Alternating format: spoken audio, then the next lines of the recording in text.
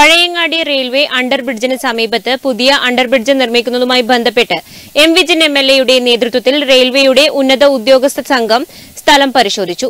ഗതാഗത കുരുക്കിന് പരിഹാരമായി പുതിയ റെയിൽവേ ബ്രിഡ്ജ് നിർമ്മിക്കാനാണ് പദ്ധതി.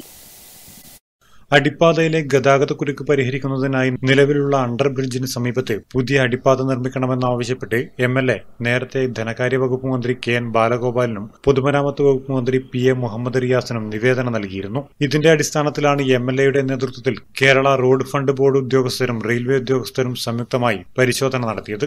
നിലവിലുള്ള റെയിൽവേ അടിപ്പാതയുടെ വീതി കുറഞ്ഞതാണ് ഗതാഗതക്കുരുക്കിന് പ്രധാന കാരണം. ഇതിന് പരിഹാരമായി അണ്ടർ പാസേജിന് സമീപത്തായി പുതിയ റെയിൽവേ ബ്രിഡ്ജ് നിർമ്മിക്കാനാണ് പദ്ധതി. ഇതിന്റെ ഭാഗമായി ഡിസൈനും എസ്റ്റിമേറ്റും തയ്യാറാക്കി സർക്കാരിന്റെ അനുമതിക്കായി സമർപ്പിക്കും. പാലക്കാട് റെയിൽവേ ഡിവിഷണൽ ബ്രിഡ്ജ് വിഭാഗം executive engineer S Shanmugham assistant engineer M K Jagadeesan E V Rameshan Kerala road fund board assistant executive engineer Manoj Kumar K V K Padmanabhan P Janardhanan എന്നിവരും എം എൽ എയോടൊപ്പം ഉണ്ടായിരുന്നു. Network news Pazhayangadi.